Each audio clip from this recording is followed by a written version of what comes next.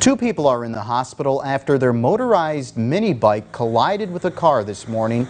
According to Erie Police, this happened at the intersection of South Park Avenue and Liberty Street around 11 a.m. A car was traveling east on Park Avenue, on South Park Avenue, when the mini bike pulled out in front of the car and was struck. Both people on the mini bike were transported to UPMC Hamot with non-life-threatening injuries. The car driver was not hurt.